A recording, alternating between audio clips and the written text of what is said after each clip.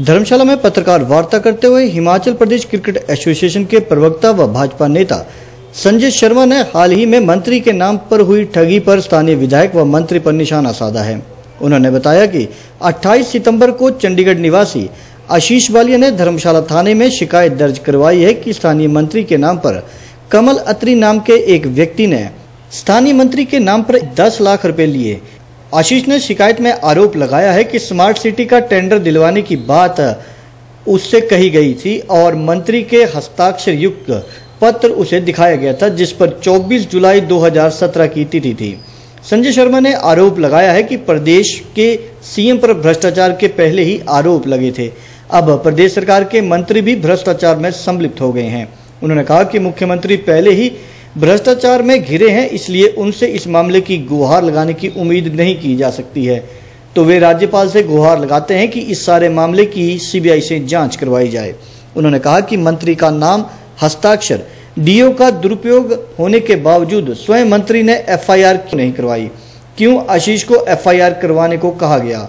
उन्होंने कहा कि मंत्री, उक्त व्यक्ति और आशीष का आपस में क्या संबंध है, ये जाँच का विषय है। संजय शर्मा ने बताया कि अपनी शिकायत में आशीष ने बताया कि कमल ने उसे कुछ साइट्स भी दिखाई थी तथा इन दोनों की मुलाकात वर्ष 2016 में हुई थी। साथ ही उक्त व्यक्ति ने आशीष से 14 लाख से अधिक के टेंडर दिलवाने के एवज में पच्चीस हज़ार रुपए की राशि भी ली थी। इस अवसर पर समाज सेवी अतुल भारद्वाज भी उनके साथ थे। संजय शर्मा ने आरोप लगाया है कि कांग्रेस सरकार और मंत्रियों ने हिमाचल को ऑन सेल कर रखा है।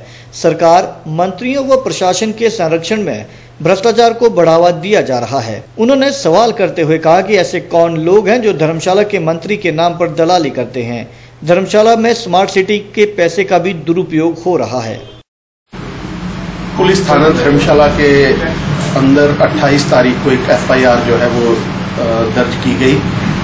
जिस एफआईआर के अंदर ये ज़िक्र किया गया कि एक शख्स जो है आ, कमल अत्री उससे उसने जो है वो चंडीगढ़ के एक शख्स थे जो है वो स्मार्ट सिटी के अंदर किसी प्रोजेक्ट का ठेका दिलाने के लिए जो है वो उससे 10 लाख रुपया जो है वो लिया और पैसा लेने के बावजूद कोई उसको ठेका कोई उसको काम जो है उसके एवज पे नहीं दिलाया गया।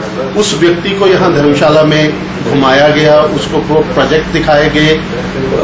सब कुछ आ, मिस्टर वालिया जो है, उनको सारा वो दिखाया गया और उनसे फिर धर्मशाला के अंदर ही जो है, वो दस लाख रुपया लिया गया और दस लाख रुपया ले, उससे पहले भी जो है, वो कोई चौदह लाख रुपए का प्रोजेक्ट दिलाने के लिए भी जो है, वो उससे पैसे लिए गए।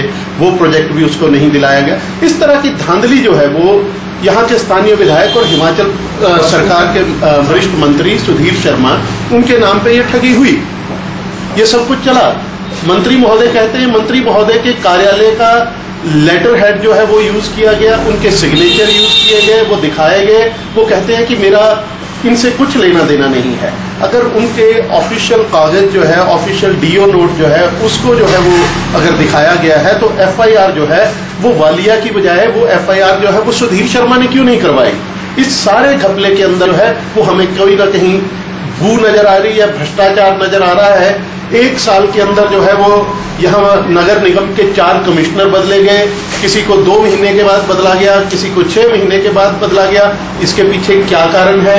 ये सब एक भ्रष्टाचार का जुड़ा हुआ मुद्दा है। इसकी जाँच जो है, वो हम तो प्रदेश के राज्यपाल महोदय से भी निवेदन करेंगे, क्योंकि हिमाचल प्रदेश सरकार की किसी भी एजेंसी के ऊपर और सरकार के ऊपर। सरकार खुद कटघरे में खड़ी है। मुख्यमंत्री खुद भ्रष्टाचार के आरोपों से जूझ रहे हैं, इसलिए उनसे कोई उम्मीद नहीं की जा सकती। इस सारे मसले की जाँच सीबीआई से करवाई जाए। राज्यपाल महोदय, ऐसे गंभीर मुद्दों के ऊपर संज्ञान मुझे लगता है कि लेंगे और ऐसे लोग जो है, वो उनको बेनकाब करेंगे। अगर वो नहीं, राज्यपाल जो है, वो समय रहते इसके ऊपर जो है, वो उचित एक्शन लेंगे।